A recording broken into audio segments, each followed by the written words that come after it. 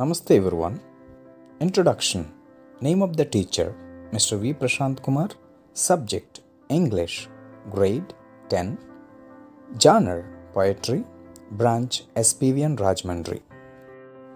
Learning outcomes To realize that all animals will be happy only in their natural habitat. To enable the students to understand the importance of freedom. To appreciate the poem and literary devices. Let's quickly review on the word of the day. Words in focus. Stuck is a verb. Stalked, past tense form of the verb. Stalked, past participle form of the verb. Stalking, present participle form of the verb. Let's learn the meaning of the word. To move stealthily or quietly towards prey or a target, typically in a deliberate and calculated manner. I have an example. The hunter stalked prey through the forest, trying to remain quiet. The detective stalked the evidence and looked for the clues. Children, try to answer these questions. Where do you think all animals would like to live? In the zoo or in the forest? And why? Second question What do you think the animals in the zoo must be feeling? Do they feel sad or happy? If they are sad, how can you let them free from the cage? Think on it. Children, we have an image here. By seeing this animal, can you guess the title of the lesson or poem? If not, I'll give you. It is A Tiger in the Zoo. Introduction of the poet and poem. The poem was written by Leslie Norris, explains the agony and the helplessness of a caged tiger that lives in a zoo. The poet explains what his life could be if he had been a free animal. The poet has tried to explain about the condition of animals that are caged by human beings for their own fun. The summary of the poem The poem begins with a description of a tiger that is very beautiful and is walking in his little cage. He has beautiful stripes on his skin and has velvet like soft paws. But the tiger is not happy and is quite angry about being confined in the cage. The poet says that if the tiger was not confined in the zoo cage, he would have been hiding himself behind the long grass near some water body in order to catch its prey, that is, the deer. Also, he would have terrorized the residents of the villages around the forest area. But the reality is totally opposite to this. He was confined in a cage which was made of strong building material and he was helpless there. He could not show his power to the visitors, therefore, never try to terrorize them. The tiger is described as being powerless and agonized by that poet. He says that during night also he is alone, hearing the voice of uh, patrolling vehicles of police and looking at the stars. The cage life has totally changed the tiger's personality. The poet is trying to say that the animal which is famous for its fearlessness and freedom is confined and sad due to the human beings who want to derive pleasure by looking at him in the zoo cage. The poetic devices that are used in the poem alliteration, repetition, onomatopoeia, etc.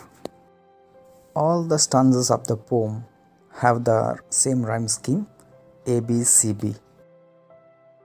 Children, let us read the first stanza of the poem. He stalks in his vivid stripes the few steps of his cage on the pads of velvet quiet in his quiet rage. Now you can understand the first word he. He refers to the tiger which has been captured and caged in a and put in a zoo. That you can also see the other meaning vivid stripes. Stripes is uh, just uh, the pattern on his skin. So different patterns would be there on skin of the tiger that you can see. So the poet says here that the zoo tiger moves around in his cage under his brightly colored skin. He goes on to say that the tiger can only take a few steps because the cage is small and difficult to move around in it because there is less space. His footsteps are unheard because he has very soft feet like velvet. You can see his feet is so soft that is called paws. And there is no sound of the tiger's footsteps. That's what it can easily hunt his prey. The tiger attempts to control his rage by quietly walking around the confines of his cage. You can also see he has a lot of anger, but he cannot show it to anybody since it is captured. He is irritated because of uh, he is not free. That you can understand this. Let's try to understand the meaning of this stanza. He should be lurking in shadow. He refers to tiger, as you all know that. Lurking is uh, just wait or follow somebody secretly. And shadow is, we can understand, under shade of the trees, etc., to follow his uh, prey. So let us uh, have a look at this. The poet says that if the if this tiger was free, he would have hid himself behind the long grass near the water body so that he could have easily catch a deer in order to have its prey as its uh, food generally we know that uh, its basic uh, instinct nature is to hunt animals and have as its prey. And uh, basically the poet wants to say that the that the tiger lives in jungle where he could catch his prey and eat it. But the tiger in the zoo cannot do it so. You can also know that the deer uh, they come to water bodies to have water. It lurks there and hunts them and eat but it was uh, its free life and enjoys but while uh, you can understand the caged tiger which cannot have any sort of fun or have food heartily. So, children, so far we have gone through two poems or two stanzas. The first one is about the caged tiger, the second one is which is in its natural habitat. Now, your turn. The third, fourth, fifth stanzas are to be read by you or recited by you and identify the rhyming words and rhyme scheme as well. We shall also discuss the poetic devices. So, you just go through the poem and read or recite one by one. I would like to just recite the three the leftover stanzas and then you can go through. He should be snarling around houses at the jungle's edge, bearing his white fangs, his claws terrorizing the village.